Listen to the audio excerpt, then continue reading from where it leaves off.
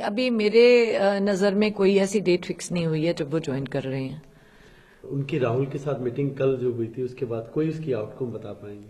नहीं, मुझे ऐसा खास कुछ नहीं पता बट एक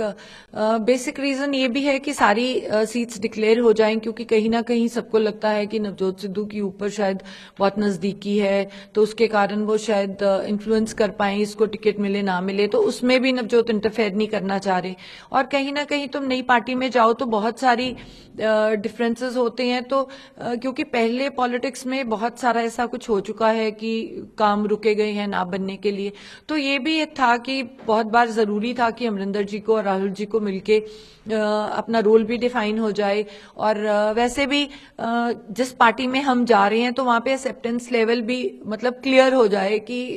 हम पार्टी के जो भी डिसीजंस हैं, उनको मानने के लिए तैयार हैं और विद डिसिप्लिन और अनकंडीशनली जा रहे हैं, क्योंकि ये बहुत ज़रूरी होता है। राहुल जी इंटरेस्टेड हैं कि नवजोत आए तो बिगर रोल वो ही डिफाइन कर सकते हैं कि वो क्या मन में लेके आ रहे हैं। ऑफ़ कोर्स हमें बोला गया था पहले कि एक विधानसभा और एक लोकसभा लड़ लो,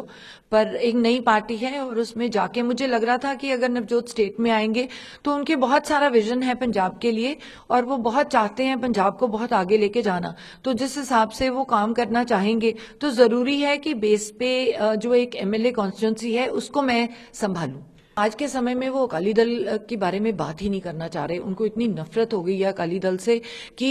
खुद जो अकाली दल से बिलोंग करते हैं, वो भी इतने परेशान हो चुके हैं कि वो भी इतनी ज़्यादा एंटी इंकम्बेंसी मैंने कभी लाइफ में किसी पार्टी के खिलाफ नहीं देखी।